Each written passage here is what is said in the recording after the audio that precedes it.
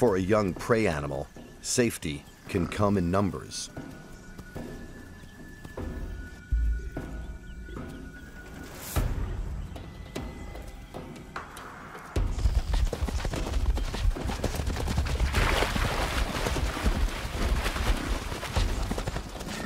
During the rainy season, buffalo calves are plenty, a staple meal for many predators.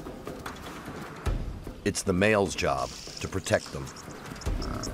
One ton of muscle and horn. A male buffalo is one of the most dangerous animals in the African bush.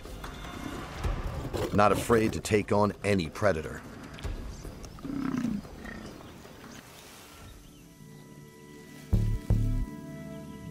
Even this young calf saw off his attacker, but he is badly injured. If he is to stand any chance, he needs to get back to his herd. Quickly.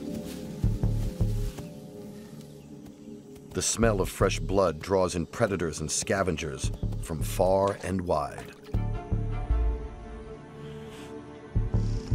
He must reach the herd before they reach him.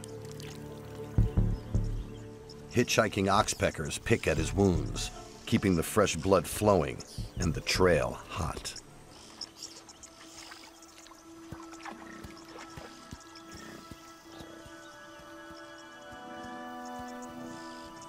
He makes it, and despite being a walking time bomb, the herd surrounds him and tries to nurture him back to health.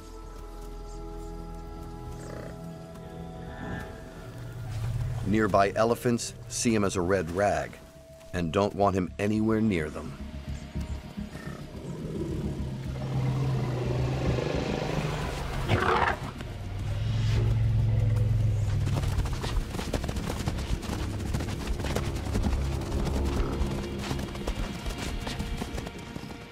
This calf's future may be uncertain, but the herd's instinct will be to protect him, no matter what.